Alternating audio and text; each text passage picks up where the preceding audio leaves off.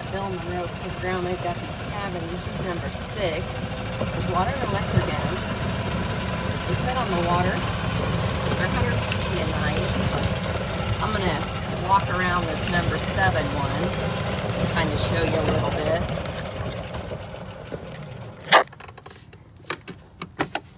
All right.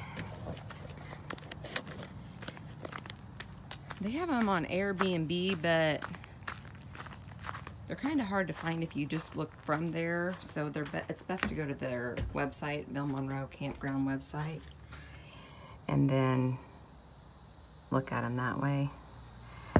They got stairs that go up there. I think it said this one, this uh, number seven, has a queen bed and two double beds, I believe, maybe three double beds.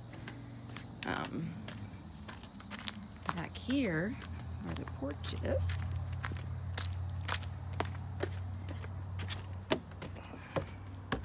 It's a nice porch.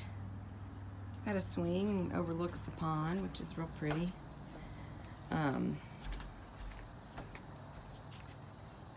I don't, that boat I think is just part of the campground, but you could fish probably from um, your site here, looks like. So I thought I'd just show one of the cabins that they have here um, on my Facebook page. It's hard to video in the windows, but tried my best here.